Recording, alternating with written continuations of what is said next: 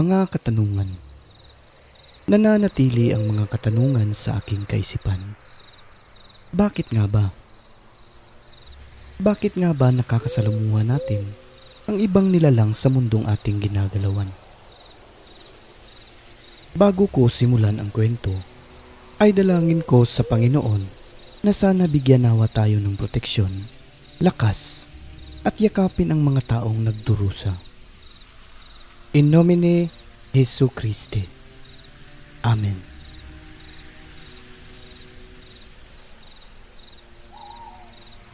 Hi Sir Alex, kumusta po kayo? At sa lahat ng masugid na tagapakinig ng channel na ito. Ako nga pala si Yin na palaging nakasubaybay sa bawat kwentong na ibabahagi sa channel ninyo. Nais ko rin po sanang magbahagi ng aming nakakatakot na kwento nung ako'y bata pa lamang. Dati, nakatira kami sa bahay ng yumao naming lola at dito po iikot ang kwento natin ngayon. Napakalaking bahay po nito, kalahati gawa sa simento at yung kalahati naman ay gawa sa kahoy. Masisilayan ng napakagandang lugar lalo pat napapaligiran ito ng maraming puno ng nyog at mahugani sa paligid. Yun nga lang, kapag gabi ay sobrang dilim naman ng palibot kahit mag-aalas 6 pa lang ng hapon ay talagang madilim na. Maganda at malaki ang bahay ni Lola, ngunit hindi lang kami ang naninirahan dito.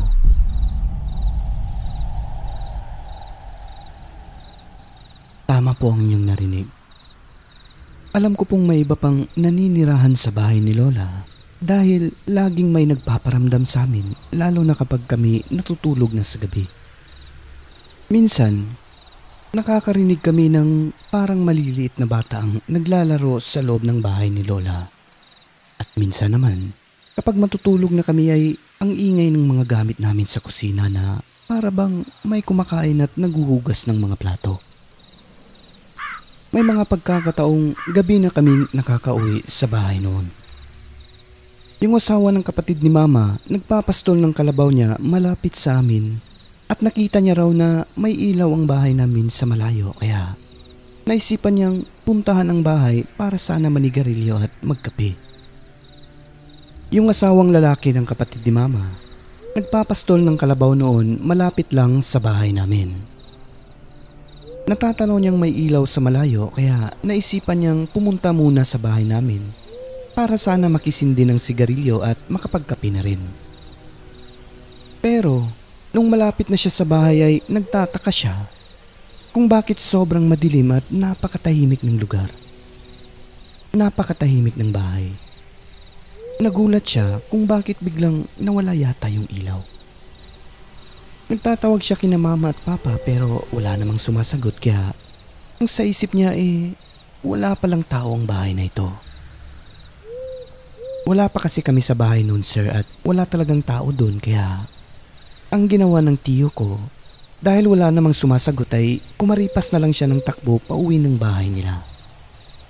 Kinabukasan, nagpunta ulit siya sa bahay namin kasama na yung kapatid ni mama na asawa niya. At yun, Kinuwento niya sa amin ang nangyari kagabi. Day, gabi iba. Nagtugway ko kabaw niya kay kita man ako kasigayan yung bay. Mauto nga ni Ari ko kay masindi ang takog sigarilyo kay naglikit mong kog dahon diya sa papaya. Nya mga piyon ta ko kay bugnaw lagi. Unya tong ari na ko kay wa may tao niya sa tangit ngita. Nawa man tong kasiga, mauto nga sirit-sirit kog dagan pa uli oy. O ibig sabihin ay... Day, Kagabi ba? Pinastol ko yung kalabaw ko, may natatanaw akong ilaw sa loob ng bahay niyo kaya naisipan kong pumunta dito para sana makasindi ng sigarilyo at makakapi na rin. Eh nung nandito na ako wala naman palang tao. Sobrang dilim at wala na yung ilaw kaya yun, kumaripas na lang ako ng takbo eh. Isang gabi pa sir, siguro nasa alas dos na ng madaling araw yon. Habang kami natutulog sa aming kwarto ng kapatid ko, bigla na lang nagising at nakita ko ang isang babaeng suot ang kulay puting damit na parang fluorescent talaga sir ang liwanag ng damit niya. Napakahaba ng buhok niya at nasa gilid ko lamang po ito. Hindi naman po ako natatakot noon. Tinignan ko lamang siya habang nakahiga hanggang sa makita ko po yung mukha niya. Blanco ito at nakikita ko na tinitignan niya kami ng ate ko isa-isa.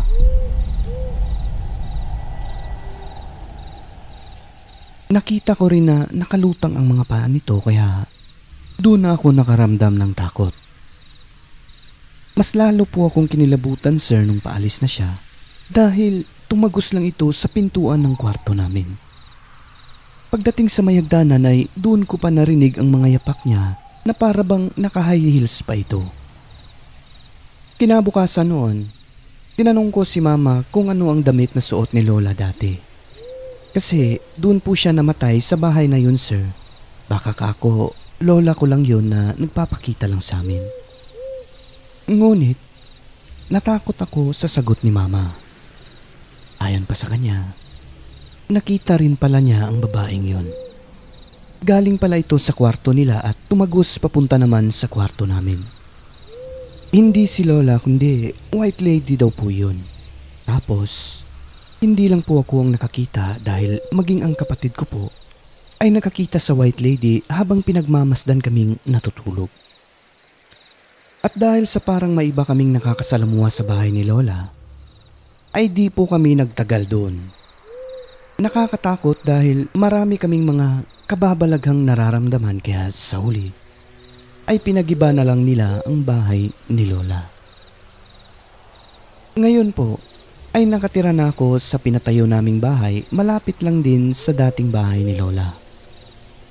Yan lang po muna sa ngayon Sir Alex. Sa susunod ay ibabahagi ko naman ang aming karanasan tungkol sa aswang. Maraming salamat sa inyo. Ito po ang inyong tagapakinig. Yin ng buhor.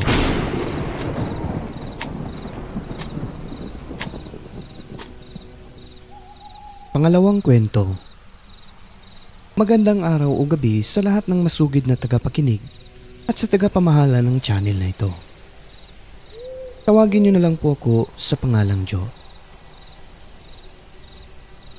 Nais ko lang po sanang magbahagi ng kwento tungkol sa karanasan ng buong pamilya ko sa aswangat. Nangyari po ito sa Mambusaw, Capiz taong 1983. Kami po ay taga Negros at doon na rin po ako pinanganak hanggang sa nakapag-asawa. Pito kaming magkakapatid at ako po yung panganay. Nung pinanganak ko ang aking unang supling, Lumipat ng mambusaw ang aking mga magulang kasama ang anim ko pang mga kapatid dahil may naiwang sakahan ng aking lolo doon at ang mga magulang ko na po ang mamamahala dito. Ako lang ang naiwan sa Negros dahil may sarili na po akong pamilya noon. Ang aking ina ay talagang mahilig itong uminom ng tuba. Mayroon silang kapitbahay doon na tawagin na lang natin sa pangalang Maring. Tuwing hapon, pinatawag ni Aling Maring ang aking ina para mag-inuman sila ng tuba. Madalas daw po yun, halos araw-araw tuwing hapon. Hanggang sa bigla na lang nagkasakit ang nanay namin.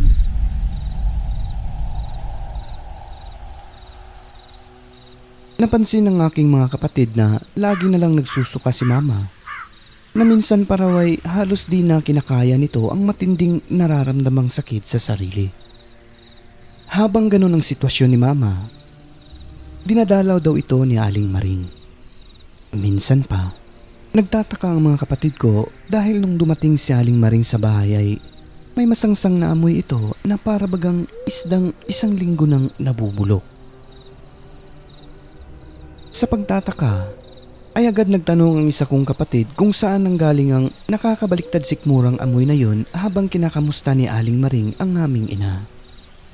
Hindi raw po ito makakatagal at umalis rin agad. Ang mga kapatid ko ng mga oras na yon ay nagtataka na sa kakaibang kilos ng aming ina. Lumalala ang sakit ni mama. Hindi na kumakain. Suka lang siya ng suka at laging naglalaway. Dinala naman agad sa doktor ang aming ina. Ngunit, kinalaunan ay nagpasya ang doktor na dalhin ito sa mas modernong bahay pagamutan sa Maynila Dahil siguro sa di matukoy-tukoy ang ugat ng pagkakasakit ni mama, ngunit mas lalo pang lumalala ang karamdaman niya roon kaya pinaalbularyo na namin ito. At doon ay nalaman na nayanggaw pala ang aking ina. At ang pinaghihinalaan ay si Aling Maring na huli na naming nalaman na kilala pala itong aswang sa lugar na yon. Hanggang sa nanghina at tuluyan ng namatay ang aking ina. Ayon pa sa albularyo, hindi niya raw po kinaya ang ibon noon na lumalaki na sa sikmura niya. Huli na ng pinaalbularyo ito ng aking ama dahil kumapit na raw po ang ibon sa katawan niya. Nung pinatawag ako at nalaman ang nangyari, ay agad akong pumunta ng mambusaw. Doon ko po nasaksiyan na may malalaking ibon na dumadapo sa bubunga namin kapag gabi habang nakalamay kami sa aming ina. Napansin ng mga kamag-anakan namin ang palaging pagbisita ng ibon sa gabi kaya nagbantay silang lahat na kung may papasok sa loob ng bahay ay talagang hindi nila palalabasin ng buhay. Hindi nga po sila nagkamali. Talagang may nangahas pumasok ng bahay tulad ng aso o pusa. At kung hahabulin naman ay sobrang tulin manakbo ng mga ito kaya di rin nila nahuhuli. Hanggang sa nailibing na lang ang aking ina na nananatili ang katanungan sa aking isipan sa mga nangyari sa kanya. Sa huli, nilisan ng mga kapatid ko ang lugar ng mambusaw kung saan pumanaw si mama at dahil na rin sa sinasabing aswang na kapitbahay doon. Sa ngayon po sir, lahat ng kapatid ko ay nandito na sa Maynila naninirahan. May apo na po ako sir at dito na rin naninirahan sa Cavite. Medyo malabo na ang mata kaya humihingi ako ng paumanhin sa liyam ko. Hanggang dito na lamang po ang kwentong ito. Maraming salamat po sa inyo. Ako po uli ito, Joe ng Cavite. Ang mundong ating ginagalawan ay nababalot ng kahiwagaan na tanging ang Diyos lamang ang siyang may kasagutan.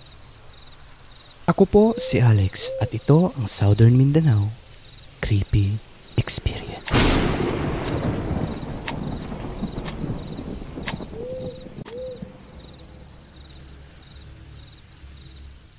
Bago po natin tuluyang lisanin ang kwentong ito ay nais ko munang batiin ang lahat ng mga nag-comment nung nakaraan nating video. Binabati ko po siyempre yung sender natin. Ayan, thank you po sa inyo, Madam Crystal Yin and Jo ng Cavite. Siyempre kay Boss uh, Homer Yusu at kay Madam Diocesi Basilio na nag-join sa ating channel membership. Ayan, thank you po sa inyong dalawa. God bless. At syempre kay Madam Miss Mary Asilar na walang sawang sumusuporta. God bless po sa inyo. Ayan, thank you po. Kay uh, Nena Black, ayan, thank you po. Kay Bayot ako pero Rakista. Kay uh, Ruby Claveras, ayan, magandang hapon. Ayan, thank you po. Kay Don Don Cafe. God bless Mr. Alex. Ayan, thank you po. Watching from California. Kay uh, Sid Vicious. Sid Vicious. Ayan, good PM. Shout out po, boss. Thanks and thank you po sa iyo. LCD Acosta, Arts Diaz, more stories Sir Alex. God bless and thank you po. Mark Aspiras, ayan, solid to. Thank you po. Mark Aspiras, kay Romeo Dalugdo. Shout out mo naman ako sir susunod mong episode. Ayan, thank you po sa inyo. Kay Bayot ako pero Rakistan, Cheryl Ann Paborada, kay uh, Gina Kalunod. Kay Monera77, Sir Alex, napakagaling niyo po. Ayan, thank you po for your appreciation. Uh, Monera77. Kay Jennifer Zantua, Legend Valrim, Teresa Rigana, Uh, hi Sir Alex, musta? All story ay gusto, maganda ang narrator at maganda ang boses more power sa channel Sir Alex and thank you. Teresa Rigana kay Ophelia Yasin, uh, listening from West Bank, Palestine. Ayan, thank you po. Kay Brian Cantorna, ganda ng kwento. Kay Jovi Agustin. Kay Suzy Su, nice, uh, very early. Kay uh, Mary Asilar, Sir Alex, thank you. Nice story again. I'm happy listening to our channel. More power sa channel natin. God bless. Ayan, thank you po. Madam Mary Asilar uh, sa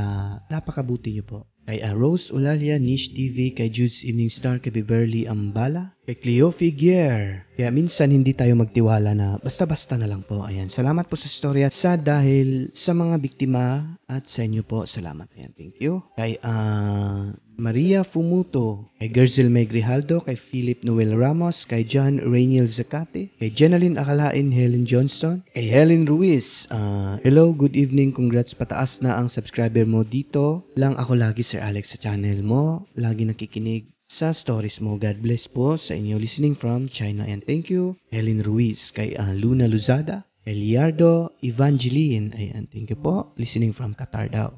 Kay Bunsay Chua, kay uh, Burley Mandukuro, kay Darin Weird, kay Mac Estrella, kay Gels Divibar. Ayan, ganda mga stories nyo. Ah, pabati naman po ako, sir. Salamat. Ayan, thank you po sa inyo, Gels Divibar, kay uh, Hubert Nukon, kay Linda Lin, kay Jaisel Gahusta. Ayan, yung subscriber po, Lods from Egypt. Pa-shout out po, uh, Gahusta family ng Zamboanga. Ayan, thank you. Jaisel Gahusta at sa mga family niyo sa Zamboanga. Kay Nadine Usman, Crystal Yin, kay uh, Kulap Pepe Ibit. Ayan, kay uh, Rowena Di Velasco, Jonard Magnifico, Owen Kim Banaga. Thank you sa upload. Ayan, thank you po. Kay Miss Puerto, kay Kuni Arlene Toledo. Nice story watching from Riyadh, Saudi Arabia. Ayan, thank you po. Kay Luna Ray Perez, Ian Kyle Kabansag, Ron Kabansag, Jude Kabansag, or Jude Jade Kabansag, Kabansag family. Ayan, thank you po sa inyong lahat. Kay Grace Pitechu, kay uh, Alison Opaon, kay Mahal Igan, Evelyn Garcia, kay Mevi Paul, ayan, kay Arturo Bax on the mix, kay Jacinta Tukilio, listening from Saudi Arabia, ayan, thank you po, Jacinta Tukilio, ingat kayo dyan, kay Miss Neng Sharid, kay Miss Neng, Mary Shahin, kay Michelle Kusay, Angel Love, God bless her, always listening here, kay Maria Fede Vierte, Kay uh, Leslie Leslie, good evening Sir Alex. I always listening your horror stories. Kay Reggie Rusal, ayan, thank you po. Kay uh, Choco Cindy, Elmer Vergara, Donna Toleron, or Donna Teloren. Ayan, shared your channel Sir Alex. I hope you can have more subscribers in the future. Bravo for nicely narrated this story. Ayan, thank you po. Kay Janet Liguaton, hi, listening from home about Kaloy sa mga biktima, no? Ayan, kay Sarah Prudencio, Jasmine Santos, kay uh, Relly and Jessamine, kay Trisita Seron, kay Jeniel Quezon, kay Sally Coleman Hashins. Uh, shout out Sir Alex, love to listen your stories sa ganda ng boses mo. Kay Karen Brescia, nakakalungkot naman yung kwento. Ayan, thank you po. Kay uh, Mark Hema. Boss Alex, sa Sarangani ba yung view na yan? Opo, tama po kayo. Mark Hema. Kay Wilma Daria. Uh, good morning idol, ito na naman ako, sobrang happy na naman at naririnig naman kita, kompleto ang araw ko, love you idol. Gamot ka talaga sa pagod at homesick ko. God bless you always. Shout out po ulit. Silent listener from Hong Kong. Ayan, thank you po sa inyo, Welma Daria. Kay Jason Pagayon, Lynn Salcedo. Hello po Sir Alex, parati po akong nakikinig sa inyo. Pero na lang ako makapag-subscribe. Ha, ha, ha, ha. Love your Bisaya accent, bistak na bistak gayod. Ayan, no? Sige lang kagpaminaw niya. Dugay kay ka nag-subscribe. Lins ba? Bibitaw joke lang. Sa mga hindi pa nag-subscribe, subscribe na rin kayo dyan, no? Kay Mark Salonsky, Rafi Aniban, Uh, sir, pa-shoutout naman po sa honey ko na si May Mendoza. God bless. Ayan, from Rafi Aniba. Jmar Villarmino. Uh, gusto ko talaga ang intro mo, sir, at maganda ang boses mo. Ayan, thank you. Jmar Villarmino. Kay Filipina Palsario. Kay Alisa Guzman. More power again, Sir Alex. Shout out sa mama ko, Rosilyn in Lebanon. Ayan, thank you, Alisa Guzman. Ingat kayo dyan. Kay Kobe Lita or Kobe Lita, ang galing mo idol. Gustong gusto ko ang magsasalita mo. Nakakaaliw, pakinggan. Ayan, thank you po sa inyo. Kay Nilan Ikanayaka, Aileen Mirafuente, kay Atuaris Maribel, hello sa tanang taga Bukidnon Hilabina, sa mga taga City, Valencia, sa mga Tuaris family, hello, hello, hello, hello. Ayan, thank you po. Tuaris Maribel, kay Jade Minay, or Minai, or Minay, ayan. Always listening story, God bless. Kay Marie Mapiot, ayan. Kay Jennifer Eriman, kay Sweet Lady Centeno, kay Alpha R, Uh, sabi niya, huwag niyo pong aalisin ang my translate na Tagalog kasi di ako nakakainti ng Visaya at Ilonggo. Pero gustong gusto ko yung Visaya or mag-Ilonggo ka sir. Thank you sa pag-unawa. Ayan, thank you po sa iyo Alpha R kasi ikaw ang tunay na nakakaunawa no. Kay uh, Jeffrey Bersabal, kay Iris Tashivana, thanks, nice story, good eve. Kay Willie Rico Hermoso, kumusta boss Alex? Ang ganda ng kwento ni Inday. Ayan, ah, listening from Saudi. Listening from Dubai. Ayan, thank you Willie Rico Hermoso. Kay Maris Advincola. Ah, basta kwento ni Ate Inday super ganda. Ayan, tama po kayo. Kay Miss ah, Libra, Romel Mercado. Ibang klase mga tao dyan. Ayan, okay. Kay Real Me, papuntahin na natin si Van Helsing doon. Kay Irene ah, Iruma or Iruma. Tama ba? Lagi po kaming nakikinig sa channel mo, Sir Alex. Binabati ko po ang asawa ko, Sir si ah, Jervy Villanueva. I love you, mahal. Mahal na mahal kita. Ayan. Thank you, Irene Iroma. Kay Ryan Velga, shoutout po Sir Alex. First time ko nabati sa YouTube channel. Maraming salamat po. Shoutout po kasama ko sa trabaho si Greg Espelita. God bless po. Ayan, thank you sa inyo. Ryan Belga kay Evelinda Aloro. Sir, nice story. Magpapatuloy ka lang sa pagkwento. Libangan na namin dito sa ibayong lugar. Dito ako sa Riyadh. Ayan, PSA. Thank you po, Evelinda Aloro. Kay Maya May, Naminaw here. Ayan, thank you po. From UAE. Kay Vanessa Pilat Gilia. GCC Basilio. Salamat ulit sa pag-join, madam, sa ating channel membership. Kay uh, Lupin siyang listening from uh, Dubai. Almutina Diera. Ayan, you po. Kay Evelyn Baker. Uh, Ting Got Me Y. Ayan, hello. Listening from New York. Thank you po. Uh, Ting Got Me Y. Kay uh, Leo Neil. Smooth kayo ang tingog serba. Moni ang nakanindot. Makasabot jud ang makasabot jud ta kay klaro kayo. Ayan, thank you po. Leo Neil. Kay Marites Guevara. Kay King the Watcher. Sabi ni Boss King. Hi Boss Alex, pa-shoutout naman sa mga listener mo. Mga kung hindi sila gusto ka programa mo, respeto lang kay anytime pwede gid sila makalib. Continue kag support gid kami. Simo happy happy lang respeto sa owner sang programa ni Along Boss kag sa tanan diehard listener mo count on me uh, proud to be Ilonggo sa Tananda ayan respect and peace all thanks sa story naman boss ayan thank you po. King the Watcher ibig sabihin sabi niya sa lahat ng mga silent listener dyan magbigay ng konting uh, respeto sa uh, nagmamayari ng channel na to. Sa mga ayaw ng ibang dialekto pwede namang mag-leave. So ayun thank you King the Watcher. So alam ko no kasi may isa dito na pinapatanggal yung in nomine Hiso Christe. Ewan ko lang ha bakit natatakot siya sa in nomine Hiso Christe. Kung sa English po kasi yan, that is uh, in Jesus name. So how come na matatakot ka sa uh, panalangin ng Diyos natin, di ba? So yun ang ibig sabihin din ni ano, uh, Boss King the Watcher. Kay Alvin Camarya, kay Floke Donaire, kay Filipina Palsario, LCD Acosta, at kay Sent Muna Singuay. Sabi niya, Ingat sir, God bless po. Nagaantay ako palagi. Kaya pala naman wala kayo update. Ah, uh, yan no. Thank you, Sent Muna Singuay. At sa lahat ng mga silent listener ay welcome po kayo sa channel natin. Pumasok na po kayo at i-hit ang subscribe button, syempre. Huwag niyo pong kalimutan ng notification bell para naman po updated kayo sa mga bago naming kwento. Muli, maraming maraming maraming salamat po sa inyong lahat at sa mga suportang ibinibigay po ninyo sa channel natin. Huwag kalimutang tumawag sa taas. I love you.